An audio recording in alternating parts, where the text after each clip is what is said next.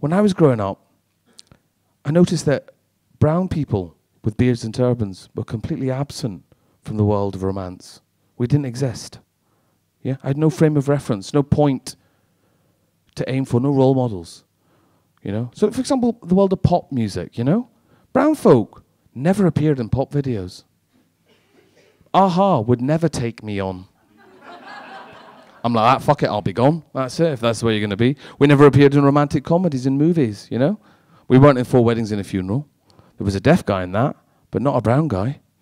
Love, we didn't register in the world of love. Magazines, GQ, Esquire, Vogue, for men. None there's, there's no brown fella trying to give a perfume by Lonthric to a woman called Lulu. Oui, c'est moi. Complete, and not even in quality publications like The People's Friend, where they're brown guys. I love how the polite English people are laughing. They've got no fucking idea what People's Friend is. oh, yes, we have. Oh, it's a wee bit early for Panto, love. Um, I mean, we weren't even. I mean, the one place I thought we might be is in the barbecue section of the Argos catalogue, page 564.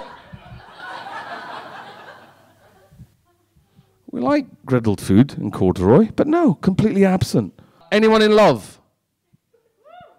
Oh, lovely. There's a couple there. His hand's up. She's sitting there. we need to chat after the show. if anyone else in love? Anyone else? Anyone else care to admit they're in love? She's not putting her fucking hand up, son, so. Oh, we didn't even want the hand up straight into the lap. That's not love, sir. That's sex. It's similar. But one begins with an 0898 number. Um, who's in a relationship? Anyone in a relationship sort of a year, a year or so, something like that? You got, are you are you together, you two? You in a relationship? How long you been together?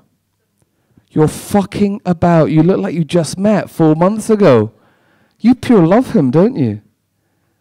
You love him, don't you? I mean, it's been ages since you've had sex, but you fucking. What's your name? Laurie. Hmm. So many jokes, just not enough time. Uh, listen, I'll have no truck with jokes about your name, Laurie. I just want to make that clear. Listen, I could. I could articulate a few jokes. Not funny, but quick. Thursday night was appointment viewing, right? Because we used to watch Top of the Pops and tape it. Remember, on, did anyone do that? Tape it, put the, the audio cassette player next to the telly. Shut up, mum! Taping Top of the Pops. Oh, fuck, I've recorded myself saying shut up, mum. Oh, fuck, it's all over the... It's all over the front of Fields of Fire by Big Country. Oh, shit, shut off.